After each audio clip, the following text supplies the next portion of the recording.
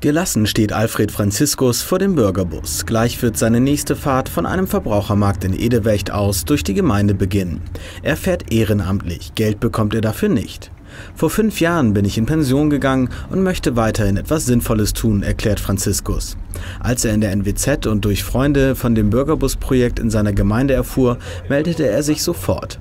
Erfahrung mit dem Fahren von Bussen hat er bereits reichlich. Franziskus war Fahrlehrer bei der Polizei und hat auch neue Busfahrer ausgebildet. Die Fahrt führt uns bis auf die andere Seite des Küstenkanals und wieder zurück Richtung Edewecht. Man bekommt schon Ecken zu Gesicht, die man vorher noch nie gesehen hat, sagt Franziskus.